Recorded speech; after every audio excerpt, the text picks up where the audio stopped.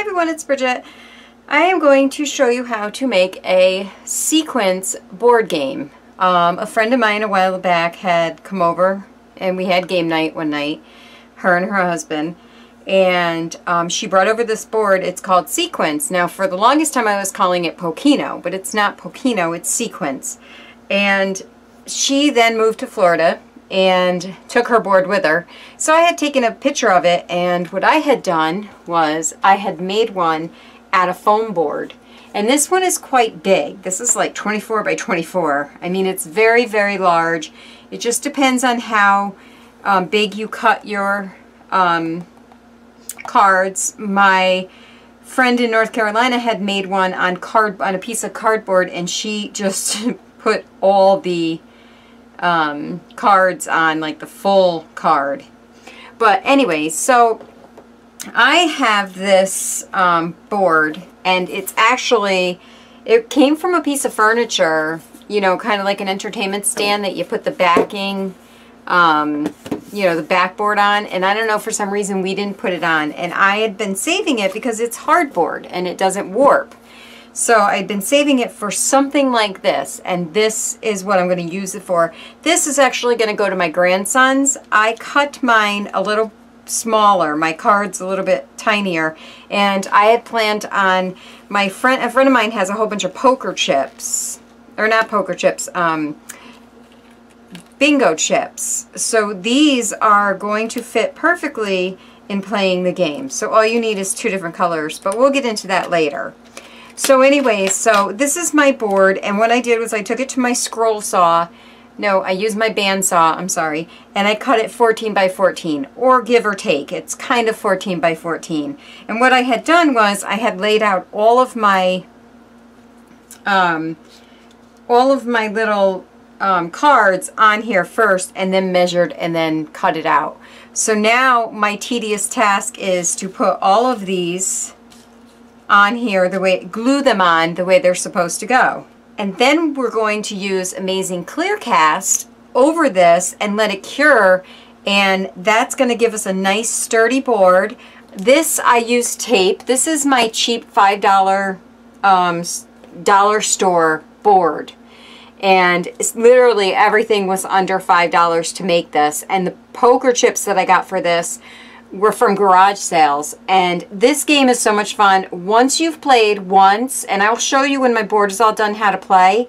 Once you've played once you're gonna love it because you can play two player you can play teams with four players six players eight players. It is so much fun. And the more chips that you get on the board the harder it gets. It's just awesome. And I will show you um, when I'm all finished with this board how to play. So what I have to do now is I have to just um, glue all my pieces on, but I want to line them up and make sure they're pretty much um, aligned. And like I said, this is for an eight-year-old, so it doesn't have to be perfect, but, you know, I'd like to get it semi-perfect. So what I'm going to do is I'm going to start putting my pieces on, and um, I either may fast forward through, I mean, I might let you watch some of this, and then I'm just going to cut the video and um, and come back on when I'm all done gluing, okay?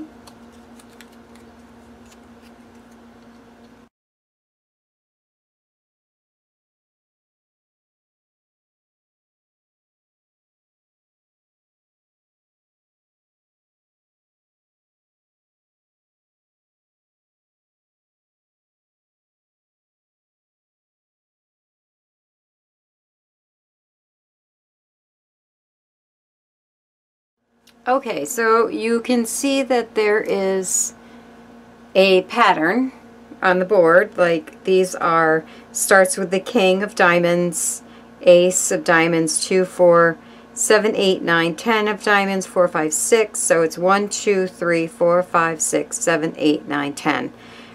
And then the king and queen are up here. We don't use jacks anywhere on here because those are going to be your wild cards when you play. Um, there's the two-eyed jack and there's the one-eyed jack, and they have a specific meaning when you're playing, but that I'll explain later. So if you just notice the pattern, these are the spades, these are the hearts, and I kind of have them all facing the same way.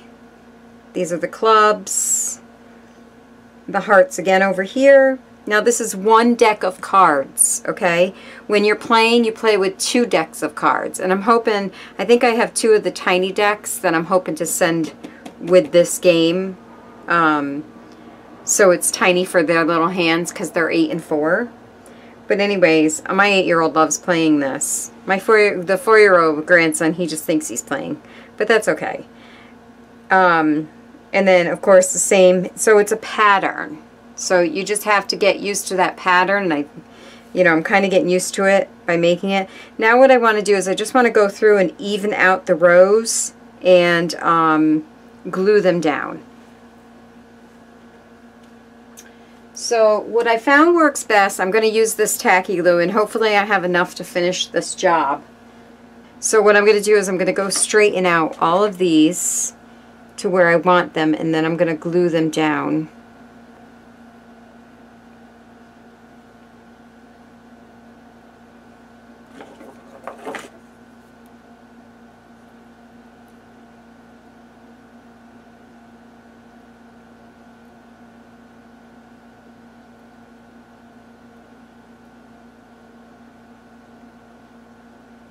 What would work really good with this is a chalk line.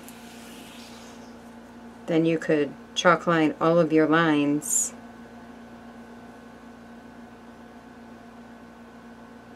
And make sure they're all even. The other thing is, is these cards are coated. So when I put the, the uh, Amazing Clear Cast over, I don't have to seal the cards because they've already been sealed.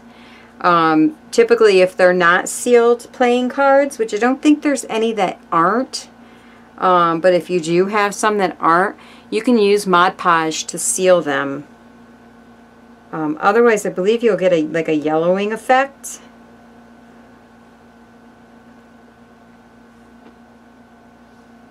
So this is kind of tedious, so I will fast forward this.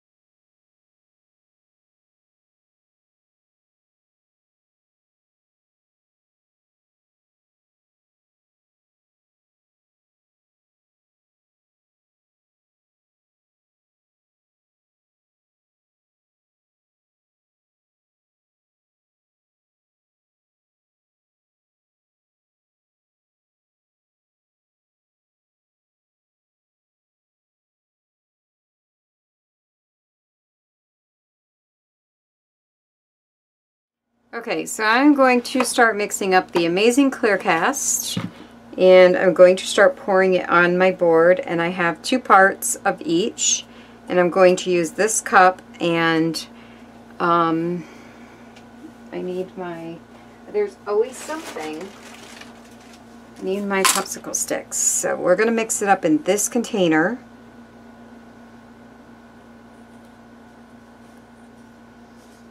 And I need my popsicle stick for this because this is a little creamier.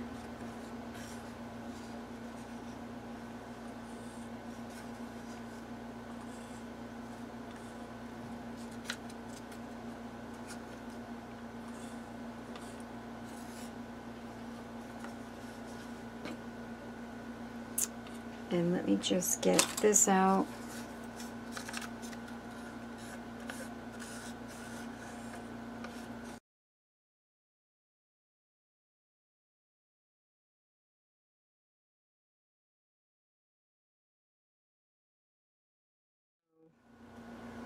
Now I'm going to start pouring on my board.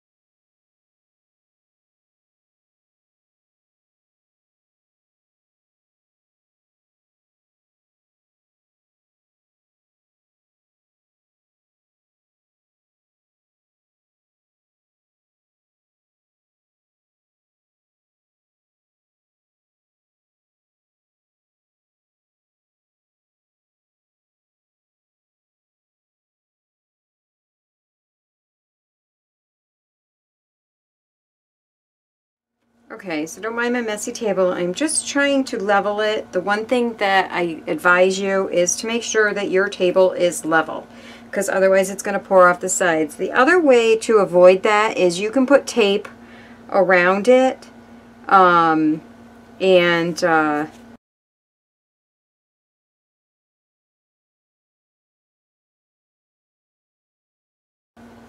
so that it's it doesn't go over the sides. But um, so far so good. I mean, I've got it raised over here.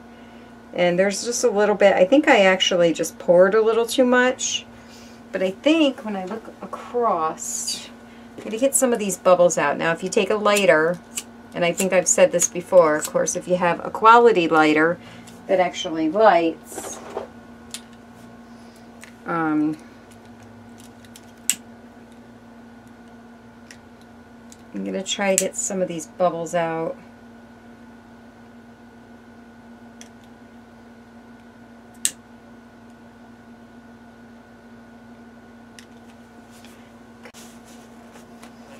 So I'm going to look this over and then we're going to let this cure for 24 hours and then I'll be back.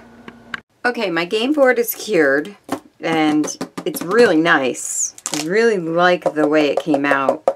Um, I think it came out beautiful. So now I'm going to teach you how to play this game and if you've never played before. You play with two decks of cards. So you want to take the jokers out of these, these um, decks and you want to shuffle them really, really, really good. Um, and then you will deal um, so if you're playing with two players, you'll deal seven cards to each player, okay? So if it's me and another player, I get seven cards. So I'm just going to count out seven cards from this deck. And of course I end up with the two jokers. Okay, so here's my cards. Okay, and this jack is a two-eye jack. Now the two-eye jack is you can lay a chip down on any one of these cards, okay?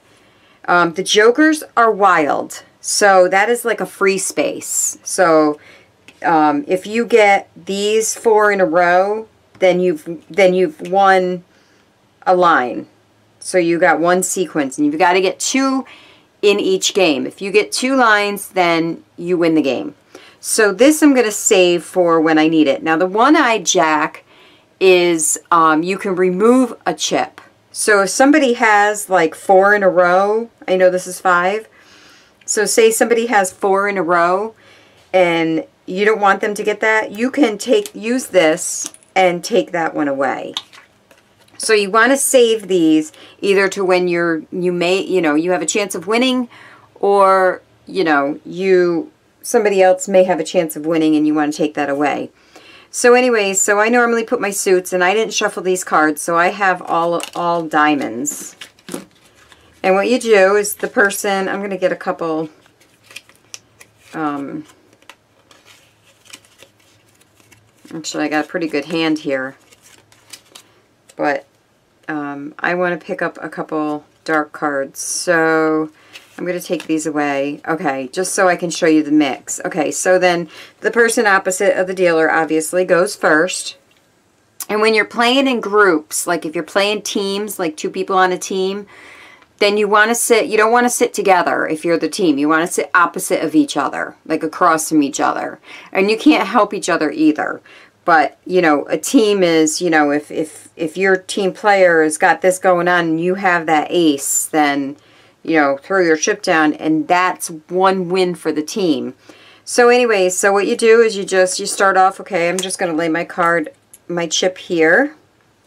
And then the next player goes wherever they go. So say they go here, they lay their card down, you, you do separate piles. Um, and then you always want to have seven cards. So if I lay down, I'm going to pick from the deck, which the deck should be flipped over like this. And you flip, and you get that card. So then it when it's your turn, you go again, and you just have to, it's kind of like bingo on a board, you know, like you just have to make a sequence. Um, and it doesn't matter. It doesn't have to be, you know, it can be any suits as long as it's five in a row.